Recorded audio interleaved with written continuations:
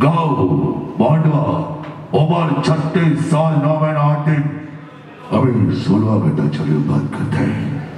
वक्त पे पहुँचने का पुराना था आज थोड़ा लेट हो गया इसलिए माफ़ी चाहता है। वो ज़्यादा समुद्र के बीच में से आ रहा था, किसी ने हम पे कीचड़ उछाला।